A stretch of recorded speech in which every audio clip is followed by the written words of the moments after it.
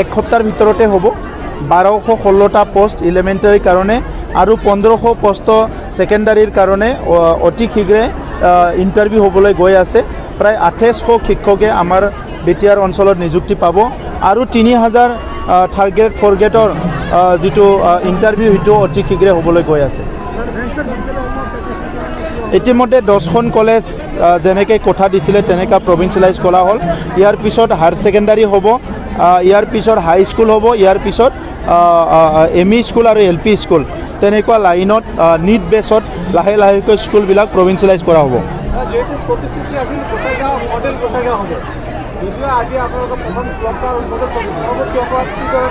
চাওক স্বাধীনতাৰ পঁয়সত্তৰ বছৰ পিছত প্ৰথমতে আমাৰ চৰকাৰৰ সময়তে ক্লক টাৱাৰ লাগিল।